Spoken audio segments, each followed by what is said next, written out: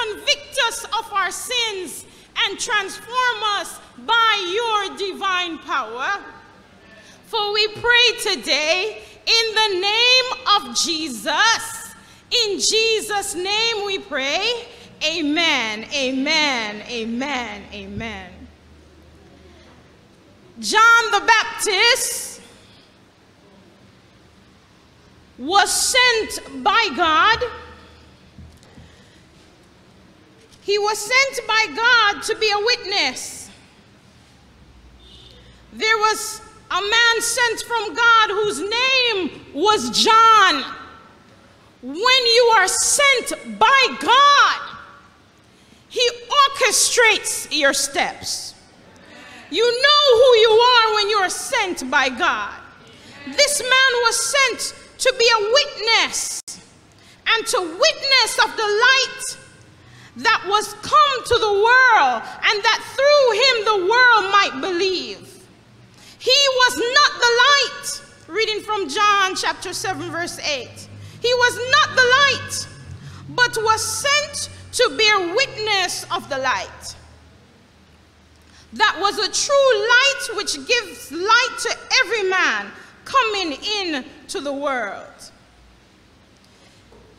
John, everything about him was special. His conception was special. The instructions given by Gabriel, the angel, to his father was special. He had the vow of the Nazarene, he was special. There were certain things he couldn't do because he was special. The word says that John was full of the Holy Spirit because John was sent to do a special work. And John was empowered by God to do that work. John's ministry was in the wilderness. John's clothing was that similar to the prophet Elijah. He wore clo coarse clothing and he wore a leather belt around his waist. He ate locusts and wild honey. John didn't go to the synagogues or churches to preach. John's cathedral was in the wilderness. But when he preached the word of God, people came from the north, from the south, from the east, from the west to hear the word of God. John had this kind of power about him that when he opened his mouth, the word convicted the heart. John had this kind of power about him that when he entered a room, if there were sinners in the room, they would look and behold that he was a holy man of God. And they would be convicted to repent of their sins. John was no ordinary man. He didn't wear the finery of the Levites, the priests, and the scribes. But oh, when he opened his mouth and declared, everyone were compelled, each and every person was compelled to hear the word of God. So impactful was his ministry that he began to empty the churches. He began to empty the synagogues. And so the people now begin to question the leaders of the church. Who is this man and who gives him authority? So they sent a group from Jerusalem to go into the wilderness. And they began to question John the Baptist. They asked him, Are you the Christ? He said, No, I am not the Christ. They asked him, Are you Elijah? He said, No, I'm not Elijah. Then they said, Give us an answer what you do and what you are saying about yourself. Who are you? John's answer was, I am the voice of one crying in the wilderness. Make straight the way of the Lord. You see, when a king was coming into a town, the king would send messengers ahead of him because when a king is coming, you've got to prepare the roadway for the king. You've got to put banners up because a king is coming and he's no ordinary man. So John was sent because the true king, the king of kings and the lord of lords was coming. He was coming to earth to redeem mankind. So John says, No, I'm not the Christ. No, I'm not Elisha. I am the voice of one crying in the wilderness, make straight the way of the Lord. Now, I, when I looked at this, I said, My, mind. John is answering and he's telling them what I am not. You see, when you are a witness for God, you have to know who you are in Christ. I want us to remember that we are a chosen generation, a royal priesthood, a holy nation, his special people, that we may proclaim the gospel of him who called us out of darkness into his marvelous light. No, I'm not Jesus. No, I'm not Elijah. I am the voice of one declaring the way of the Lord. You've got to know who you are in Jesus because God has called you out of darkness into his marvelous light. And because you've been called out of darkness, there's some places you cannot go. There are some words that must not come from your lips.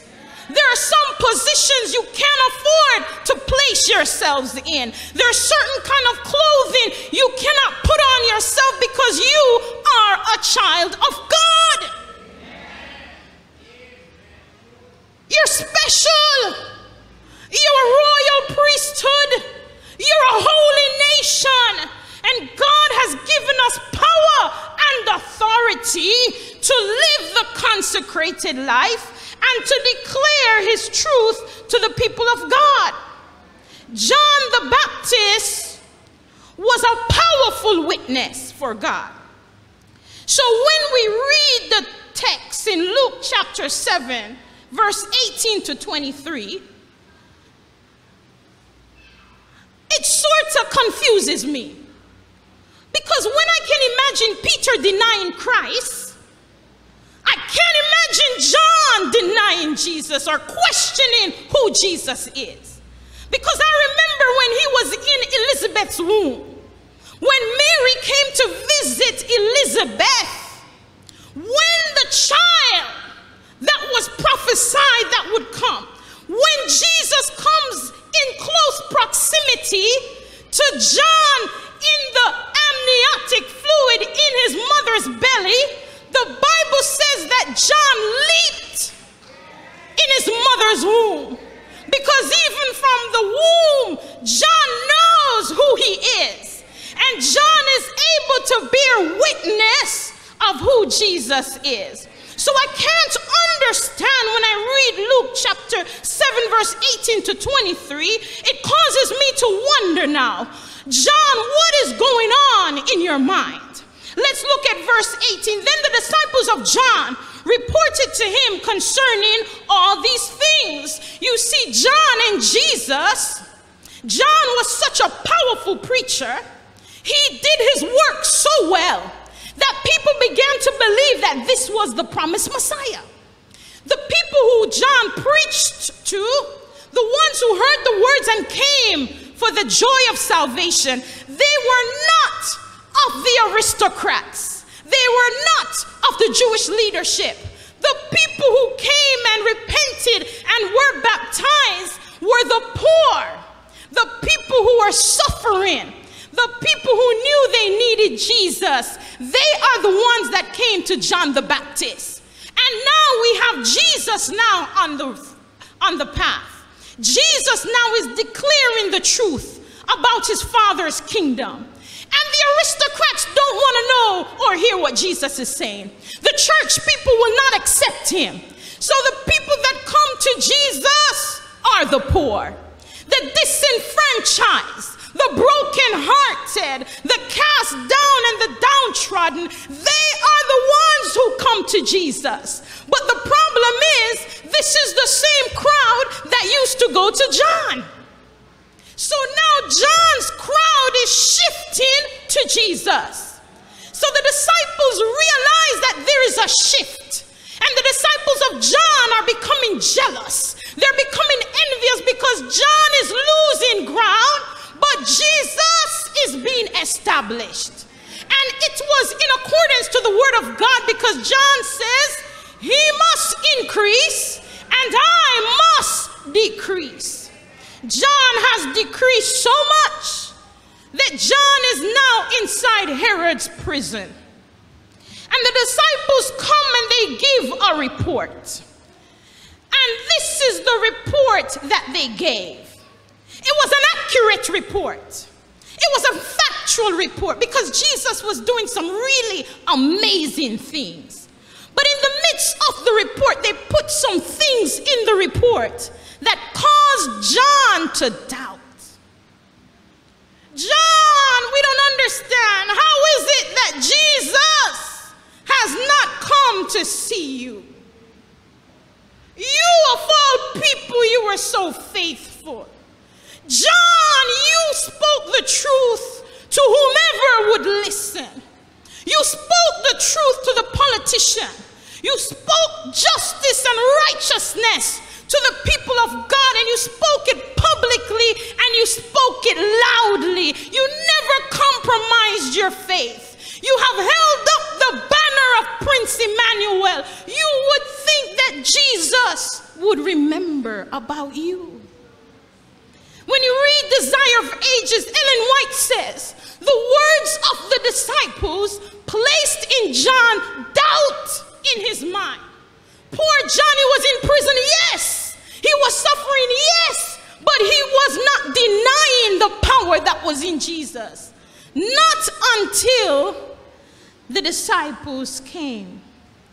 You see, the devil was at work. Because a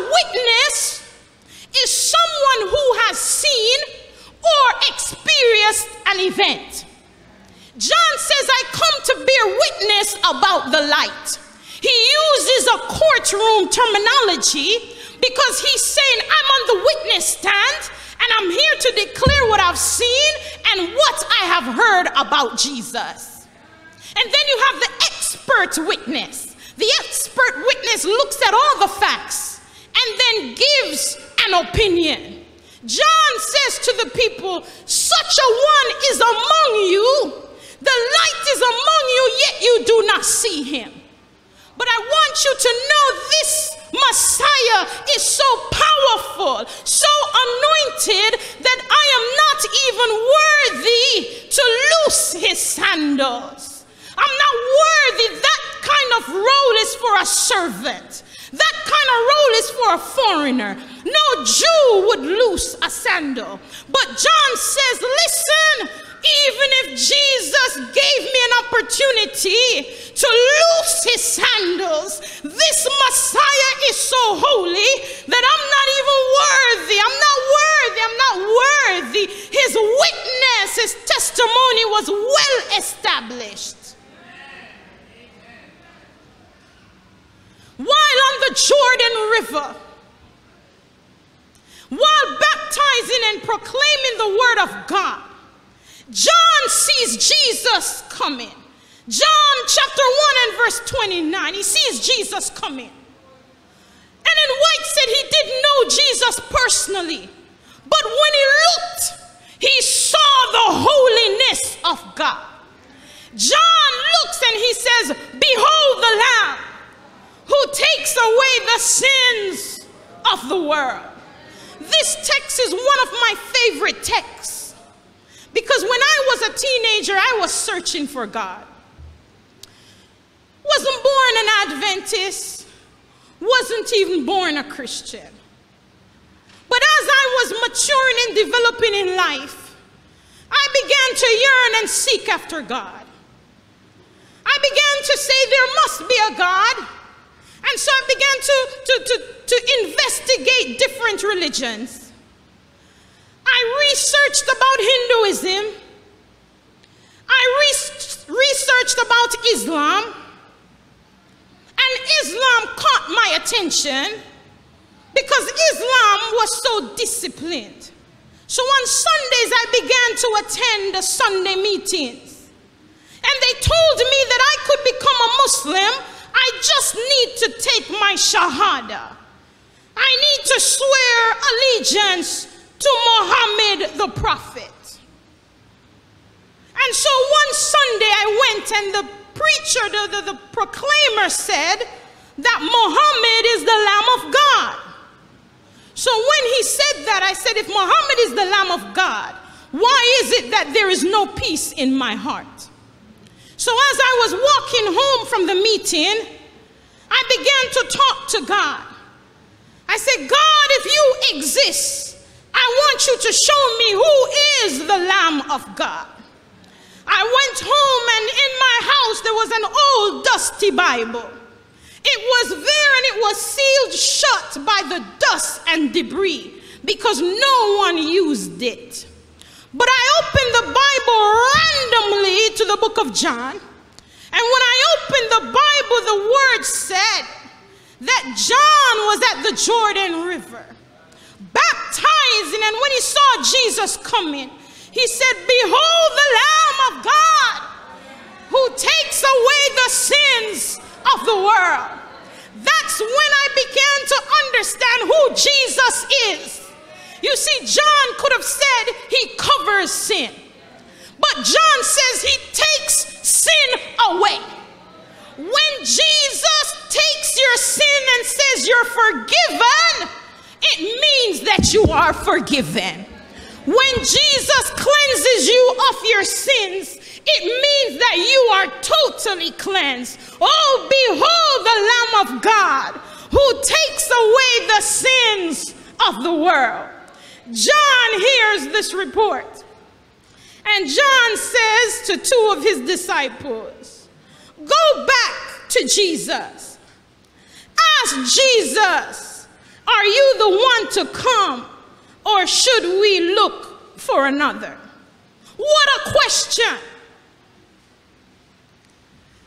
It would have been okay if someone else asked this question.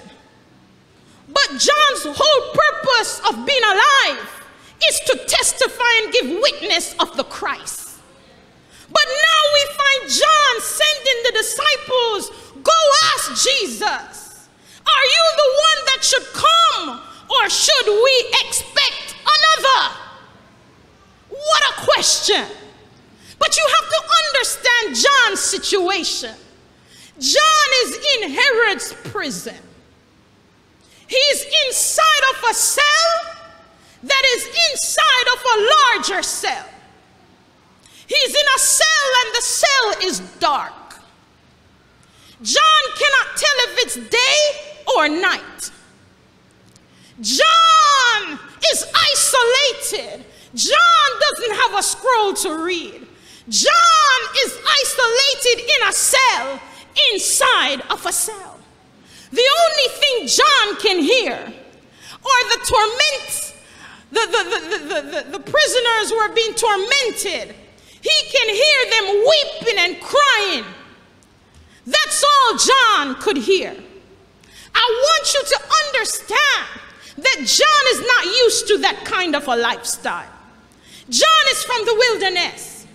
John comes and goes as he likes. When John lies down, the sky is his canopy. John is used to being free. But now we find John inside of a cell, inside of another cell. And John has now been planted with the seeds of doubt. You've got to be careful who you listen to. You've got to be careful who you take counsel from. Because some people are mercenaries for the devil.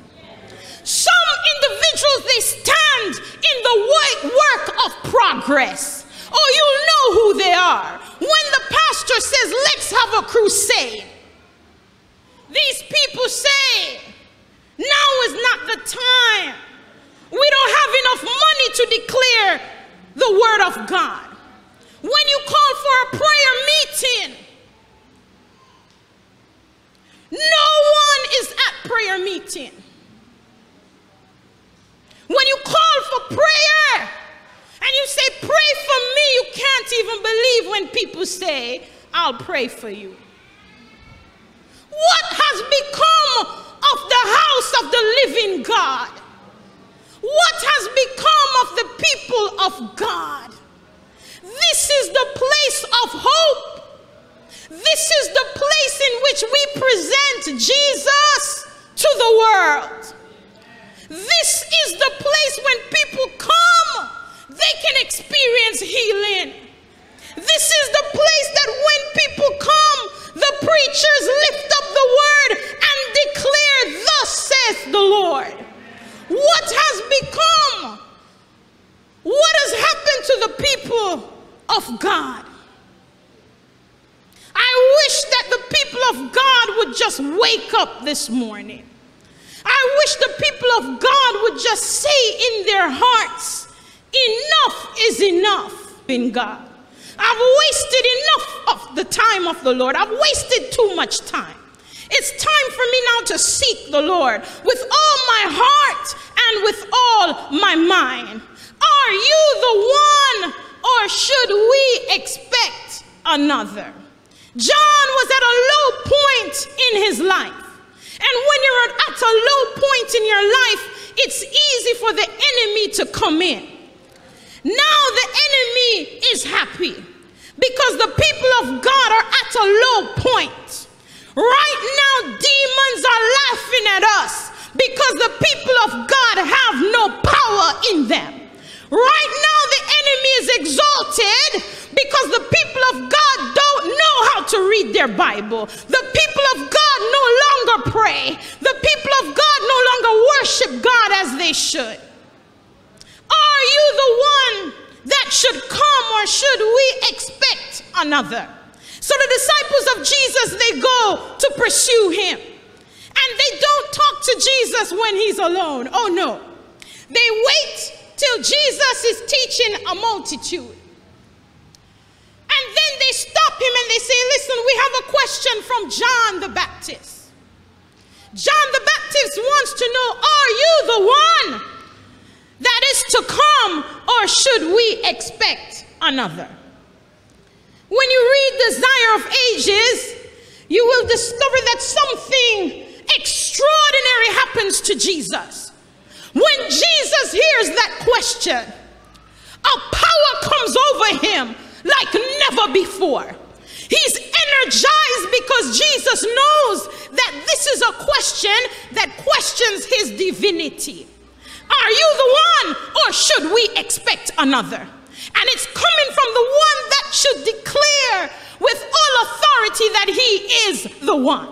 So Jesus looks at them, and Jesus says to them, Follow me. Look what I'm doing. And what you see me do, go tell John. Look at me, I'm curing infirmities. Look at me, I'm clearing afflictions. Look at me, I'm casting out evil spirits. Look at me because many who are blind now have sight. Look at me because I am doing the works of my Father. I love this answer. Jesus could not have given a better answer. What Jesus did was he quoted from Isaiah.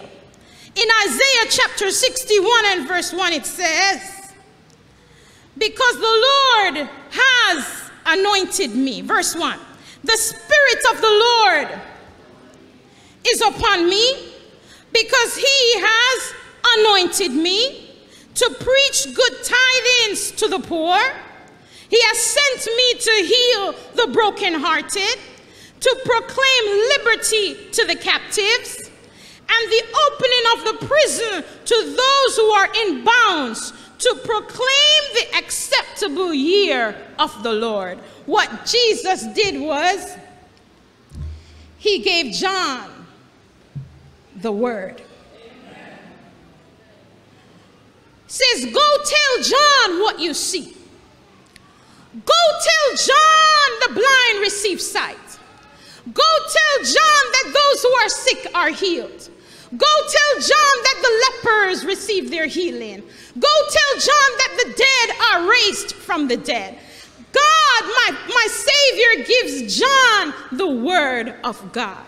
And then when the disciples leave now to go to Jesus, he turns to the multitude and he begins to speak of John as the greatest prophet that ever lived. He said, What did you expect to see? A reed shaken in the wind. Behold, John is the greatest prophet that ever lived.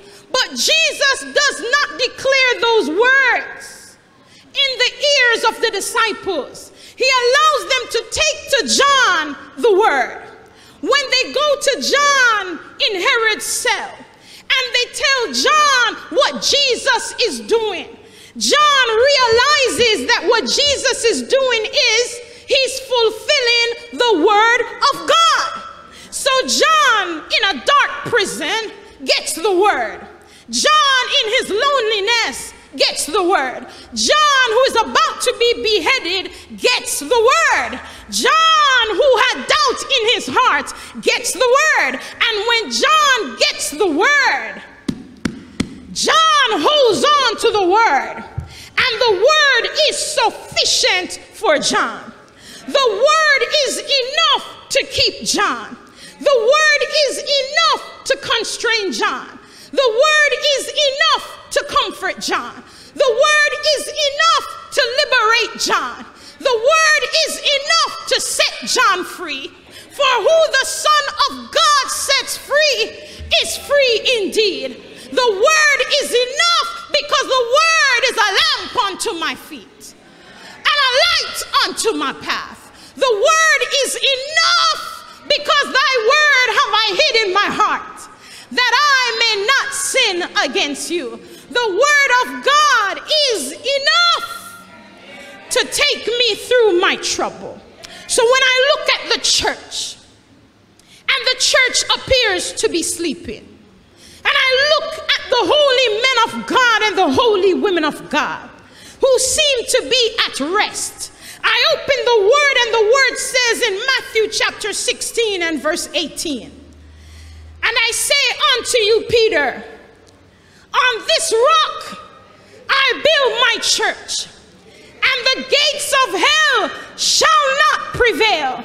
So when I look and I see prayer meeting is empty, I remember what Jesus says. On this rock I build my church. I remember when Jesus says, Peter, you're not the rock. Because Peter, you're just a pebble. Somebody can pick you up and throw you away. You're movable. But Peter, on this rock, I build my church, and the gates of hell shall not prevail against it. Jesus is saying, Peter, listen to me. Don't watch the crowd. My people, John chapter 10, Jesus says, I'm the good shepherd. My sheep, they know my voice. And when I speak, they will listen. Don't watch the crowd, watch Jesus. Because when you watch Jesus, you cannot go wrong. When you follow Jesus, you cannot go wrong. Turn your eyes upon Jesus. Look full in his wonderful face. And the things of will grow in the light of his glory, in the light of his glory, in the light of his glory. If you just cast your eyes upon Jesus, he is sufficient to carry you. If you just do what Jesus says and trust in his word, he has the power to sustain you. When John the Baptist hears the word, the word of God sustains him. And the last day church must hear the word of God to sustain them.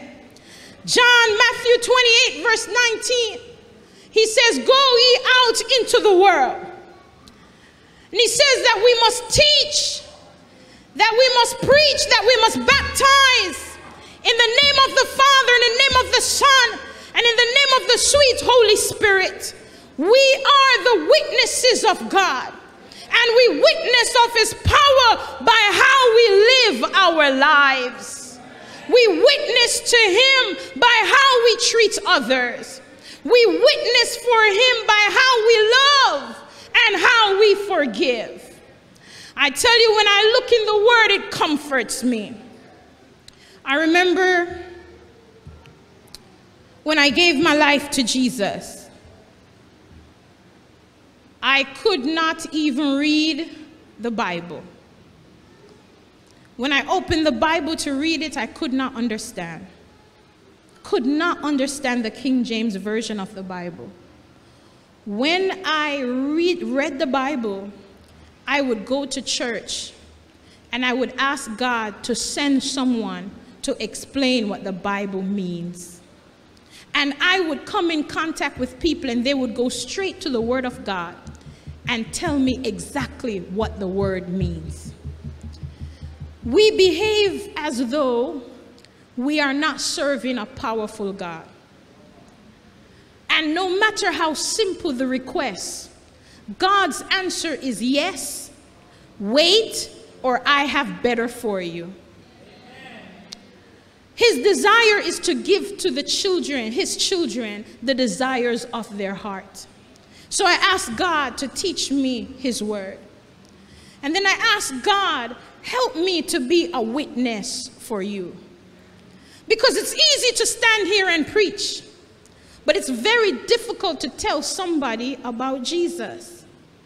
So I ask the Lord to help me to teach the Bible. Help me to lead individuals to Christ. And so I became a Bible worker.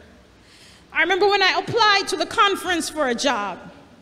Nice resume, bachelor's degree, master's degree from Oakwood University, years of service as working for the General Conference as a missionary, sent in the resume after 40 days of prayer and fasting, sent in the resume to the president of the conference. And the only answer I got was, We have Bible work.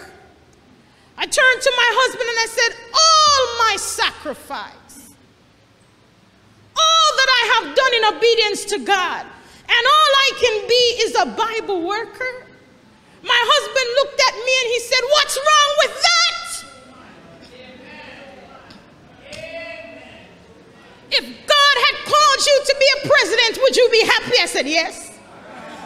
If He had called you to be a secretary of the conference, would that make you happy? I said, Yes. He said, Well, God has called you to win souls for Jesus. I said, Okay, okay. I'm going to go and win souls. But all the theological training that I did didn't prepare me for that kind of work. First day on the job in Spanish Town, I showed up in a suit. After one hour, I looked for the nearest shop open. I went to the shop and I said, Listen, sell me a bag juice. And make sure it has plenty of ice. The heat almost killed me. But when I began to pray, and I said, God, put the souls in my hand. Put the souls in my hand.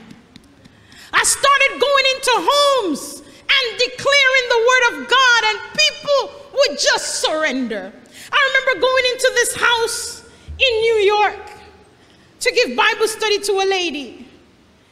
And while giving the Bible study, God said to me, Ask her about the promise. I'm doing the Bible study and I'm talking to God. I say, God, you want me to ask the woman about the promise? She's going to think I'm crazy. So I'm doing the Bible study, but the Spirit of God is troubling me. So I say to her, The Lord told me to ask you about the promise. Her jaw dropped open. She said, How do you know about the promise? I said, God told me to ask you about the promise. She said, When I was in Jamaica, I made a promise to God that if He took me to the United States to live, and if He brought all my family, my husband, and my children, that I would serve Him. She said to me, It's interesting you asked me that because my husband and children, after years, will be coming to America tomorrow. And I'm supposed to pick them up from the airport. I said to her, God has sent me as his servant to tell you, remember the promise. Remember the promise. It's time to cash in on the promise. I remember studying with a man, studying with him.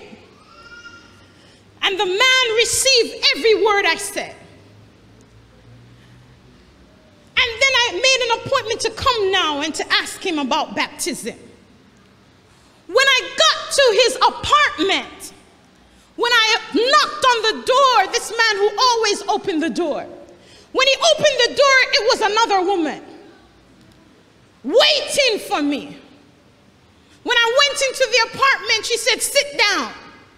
I sat down. She said, You plan to baptize my father? I said, Yes. She said, Well, I go to the Jesus only church. And we only baptize in Jesus' name. I said, God, what am I going to say now? So I said, God, give me an answer. Because when you're God's witness, He promises to give you an answer. I said to her, Well, I go to the Seventh day Adventist church. And in the Seventh day Adventist church, we go by what the Bible says. And the Bible says in Matthew 28 and verse 19 that we must go, we must teach, and we must baptize in the name of the Father, in the name of the Son, and in the name of the sweet Holy Spirit. The woman got mad. She said, Pick up your books, pick up your Bible, and get out of my house. So I picked up my things and I got out of her house. I left her house. And when I was walking, the Lord said, Go in a couple of days. Go in a few days. About three days later, I went back to the house. The apartment has a sign on it, vacant. I look, no curtains are there. No furniture are there. The man is gone. And I returned to Jamaica. Never forgot about him. Two years later, pastor from Breath of Life Ministry, Carlton Byrd, invited me to do Bible work in the same city. So when I got to the city, I said, God, I have unfinished business here. I was studying the Bible with a man and he disappeared. I want you to show me the man. Reveal the man to me. I said, I know this is a big city, but I serve a big God. And if you can, you can, if you want to, you can show him to me. I'm driving in the vehicle and the Holy Spirit arrests my attention. The Holy Spirit turns my head to an apartment complex. Holy Spirit says, Go inside that building. I go into the building, and there is a list of the residents in the building. I begin to look for his name, Michael Armagon. And I look, I find the name Michael Armagon. I pick up the phone and I call the apartment number. And when he answered the phone, he said, Hello. I said, I'm that woman from Jamaica who God sent me here two years ago to tell you about the love of Jesus.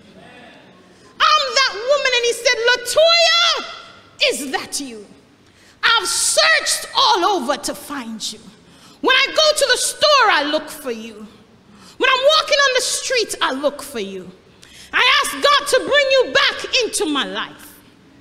This man invites me upstairs to his apartment. When I go inside his apartment, he says to me, My daughter did not want me to be baptized in the Adventist church. So she moved me away late one evening and put me in this apartment. And from she's put me here, I hardly see her. But I've been praying that God would send you to me. And here you are. How did you find me? I said to him, all I did was say, God, show me the man. And God showed me the man. I finished my Bible lesson. And the next Sabbath, he was in church. And when he was baptized and he came out of the water, he said to me, You don't know this, but years ago I prayed.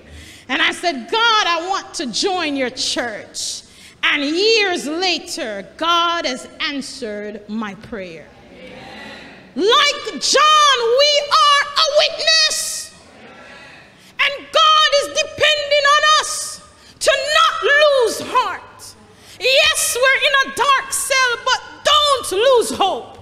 Jesus is coming. And when he says he's going to do something, he means it. Working in Spanish Town and doing Bible work in the hot sun. Hot sun. Doors, people don't want to hear about Jesus. I said, God, you sent me here to win souls. Give me some souls to win. Went to the crusade, and a lady came to me. She said, I don't know what it is, but God say I must give you this name and number. So she gave me a name and number. When I got home, I called the man.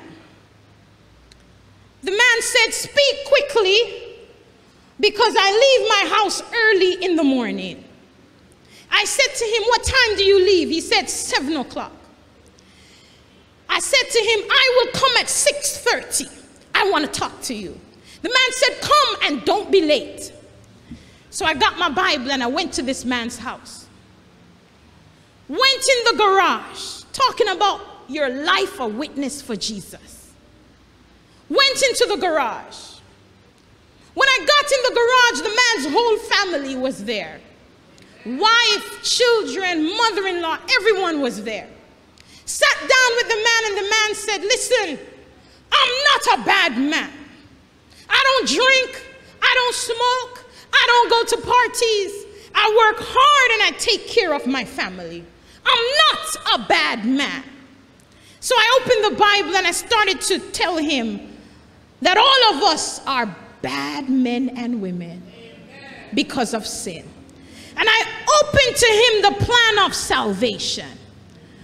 And while I was talking, I could hear the wife, I could hear her moaning. And the man said to me, Listen, my family, they are Adventists. Every morning I hear them praying. Every evening I hear them praying. Talk about witness. I hear them calling my name in prayer. I don't know what it is that's in the way of me giving my life to God. Because it's not like the world has anything to offer me. So I said to him, I know what is in the way. Lord has shown me what is in the way. I said to him, You are in the way. We're going to pray now and we're going to ask God to move you out of the way. And I'm not going to pray, you are going to pray. The man begins to pray one of the most beautiful prayers I've ever heard. The man begins to pray and he says, God, Maybe you don't know me. My name is John, and I've heard about you many times. My family have been praying for me, and for some reason I can't move. He says, Jesus, move me out the way. Move me out the way. And then he said, Amen. Amen. Next morning, I went to study with him. Studied with him three times. This is the third time. When I go again, the whole family are seated in the garage. I begin the study, and he says, Before you begin, I have something to tell you. But in my mind, I'm thinking he's going to say, I'm not interested. So I say to him, Before you answer, before you say something, let me pray. So I pray. He says, I have something to tell you. I said, Let me do the Bible study first. So I do the Bible study. He says, Let me tell you something. I said, Before you say something, let me tell you what Jesus has done for you. He says, Listen, I have something to tell you. He says, God has moved me out the way. I'm ready to give my life to Jesus. I said, The baptism is in two days. He said, I will be ready. Day of the baptism, I see him under the tent. And I'm watching him. And when they make the appeal, he gets from under the tent and starts to go to his car. So I go to the car and I said, Is everything okay? He said, Yes. I'm just getting my baptismal bag. Man went and lined up with the candidates, raised his hand and said yes to all the vows. And when he went in the water and was baptized, I saw the mother crying, the wife crying, the children crying, and I saw the man surrender his life to Jesus. I have never seen him again. Because after that night, I was reassigned to another meeting. I want you to know that we are God's witnesses. And all of us must tell the world about Jesus. He's coming, he's coming. He says, Behold, I come quickly, and my reward is with me to give every man according to his work. Jesus is coming whether we're ready or not. Jesus is coming, and all Jesus wants us to do is light up the world. Tell the world Jesus is coming. Tell people that are dying in sin that there is hope in Jesus. Tell people, tell them, tell them, though your sins be as scarlet, they shall be as white. Tell them, tell them that I died to save them. Tell the world, tell the world that Jesus, this same Jesus who you see going up in like manner shall return. Tell them, tell them that Jesus is coming soon. Be my witness, be my witness. Do not keep silent. Do not shut your mouth. Do not say, What can I do for Jesus? No, say, Jesus, here I am, send me.